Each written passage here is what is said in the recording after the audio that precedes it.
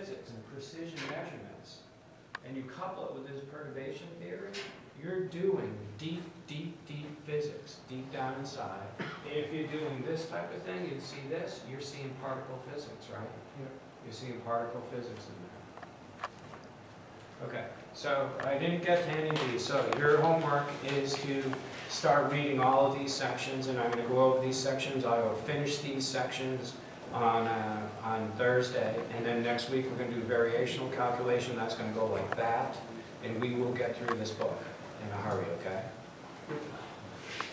Okay, good, I hope today was good. You know, I was looking at the,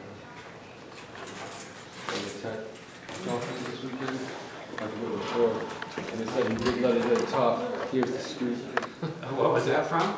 some little tech document. Oh, really? I use, here's the scoop and what's the deal. Jeremy, this didn't come up that great, so don't put yourself out. But you get the idea?